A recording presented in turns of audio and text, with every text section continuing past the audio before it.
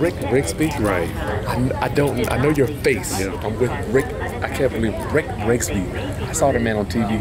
I'm on the way to Dallas. You live in Dallas. I live in Dallas, I sure do. And I understand where you're going, and I understand the audience. This is what I want you folks to know. More, the most important business principle that I could possibly tell you is execute the basics better than anybody else. That's what grows your capacity for greatness. I learned that from a third grade dropout daddy, wisest man I ever met in my life. He told me, he said, son, show up an hour early, outwork everybody, leave an hour after everybody's gone, and execute the basics better than anybody else.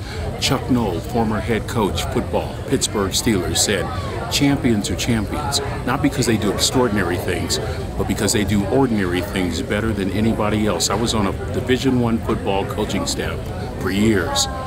You win championship rings when you execute the basics better than anybody else.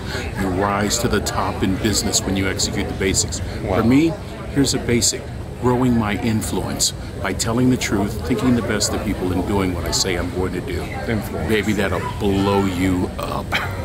See you, man. Okay. I think, Is that good?